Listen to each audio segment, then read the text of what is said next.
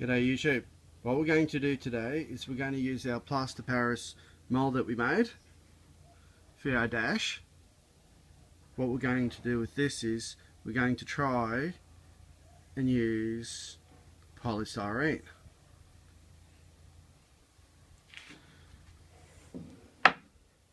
Okay, just not any polystyrene. This will be polystyrene foam.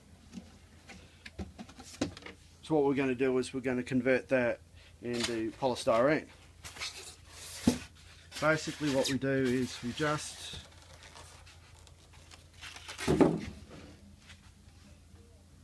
this is my um, acetone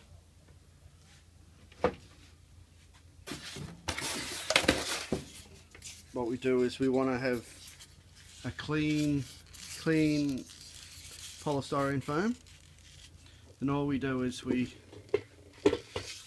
just put it in. Just like that. What we're going to need is we're going to need milk bottle. This is the three litre milk bottle. Basically what we need to do is we just need to have somewhere to put our mould for the excess so it's easy to clean up love these. I love these HDPE um, milk bottles. Simply fact being is that since HDPE is chemical resistant, it's pretty good. Alright, basically what we're going to do, just put our mould in here, then we're going to put the plastic, in, the, the melted polystyrene well, the melted polystyrene foam and we're going to put it into the mold. Next step.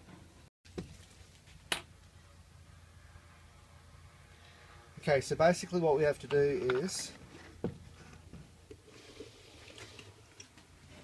we have to get our um, polystyrene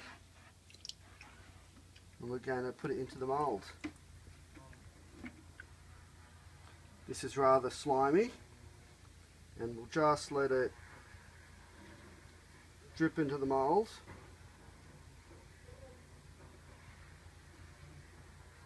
and settle in the mould. Maybe we're not need to push some of it in.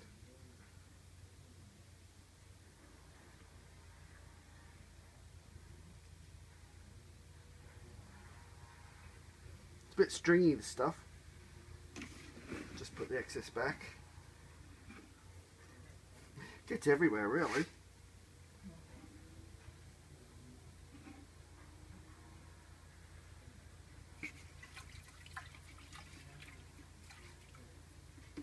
Just wash your hands back into the acetone and it'll get rid of most of the other stuff.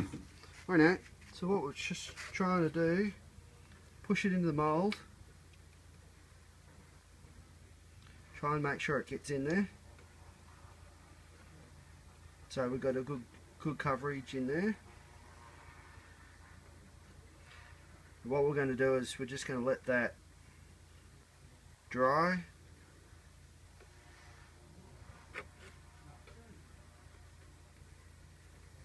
We'll let it dry naturally and we'll see how that goes. So what I've done is I've just put it into the sun and let it naturally set. And we'll check on this in about a day or so. Or when it's dry and we'll see what it will turn out like. Because the mold isn't isn't that great because we've had a tinker around with the mold before it won't be fantastic but this is proof of concept. Right thank you. Bye. Yeah it's been 24 hours since I've um, put in the, uh, melted um, polystyrene, the expanded polystyrene I should say. It's hard on the outside, but it's rather gooey on the center, still rather soft.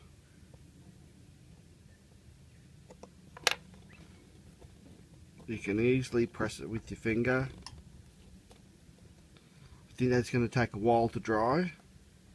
I'm going to try and speed it up by putting in the oven. We'll see how that goes. I just put in the oven for about five minutes about 180 degrees or 90 degrees it's gone rather interesting interesting like almost like it's reverting back to uh, extended polystyrene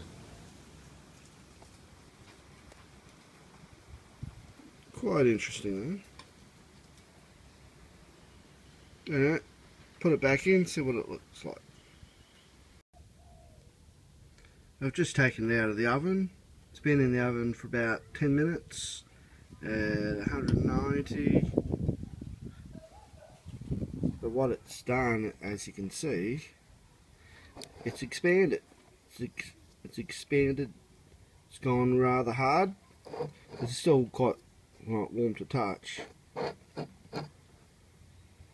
yeah, it's quite interesting. So what we'll do is we'll let this cool down. We'll see if we can take it out and see if that that helps. Yes, interesting. It's quite hard on the top. Uh, now hopefully that's gone through into the mold as well. Alright.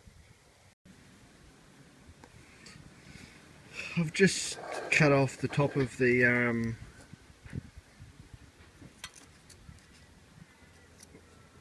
cut the top off our part. Alright, okay. After being put in the oven, what happens is it expands. As you can see, there's there's an air hole here. Alright. Well, anyway, basically that's that's come off. That's useless. And basically, we're stuck in the mould.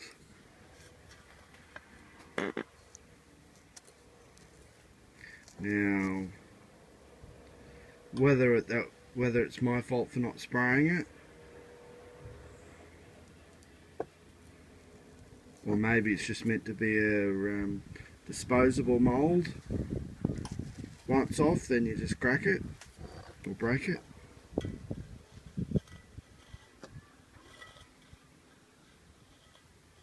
Yeah, so once put it, when you put it back in the oven, it expands up. It's back. It expands back up into almost like a polystyrene state, but it's not polystyrene. Okay, they're like air holes. Anyway, I might just break it and we'll um, have a look at the end product. We're now about to break our mould, our plaster Paris um, mould. Did that break? No, not in the least.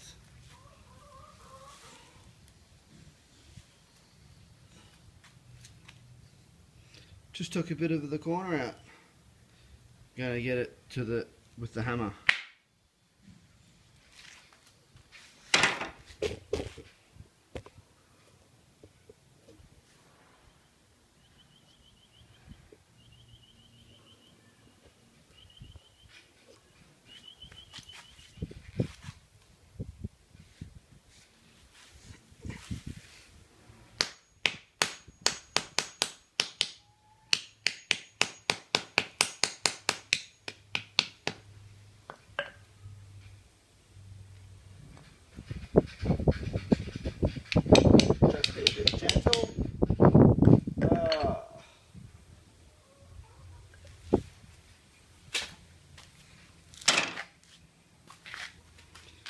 Alright.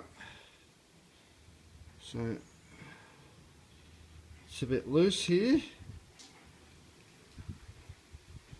And it's basically cracked in two. Hmm.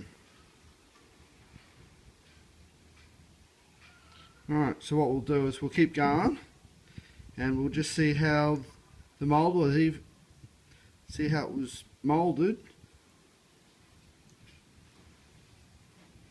see if it's any good as actually putting it in a mould using it as a mould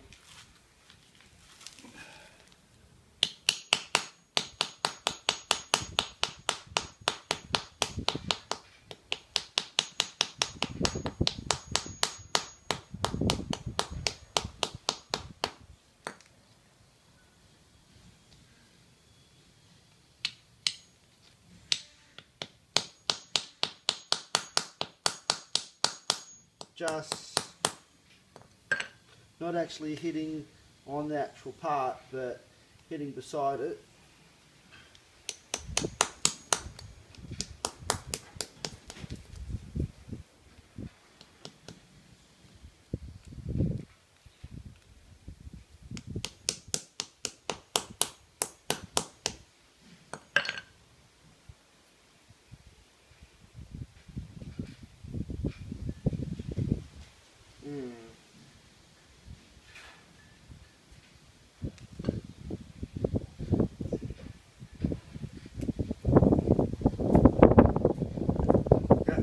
That's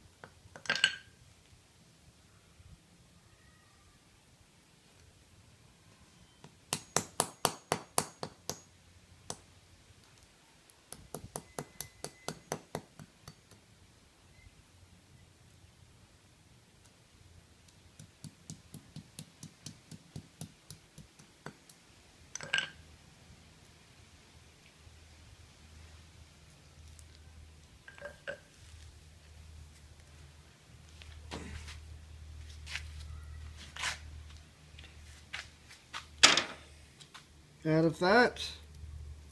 Yes, not the best. Just all just broken.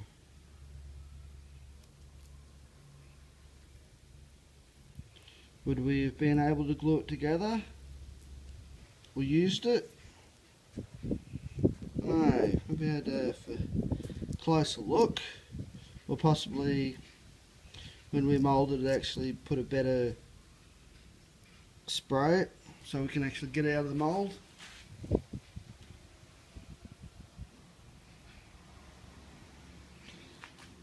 I'll chip this bit off and we'll see how this one looks. Yeah. Not the best.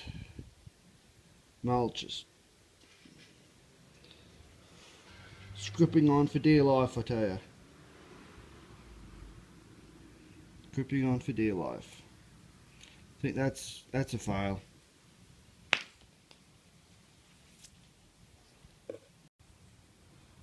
In the end, this is the result of the failed attempt of using the expanded polystyrene as a material to mold to put into a mold into a plaster Paris mould. Possibly some release would have um, helped to get it out, but as you can see, is there any detail? No. Right, so, moral of the story is, don't use expanded polystyrene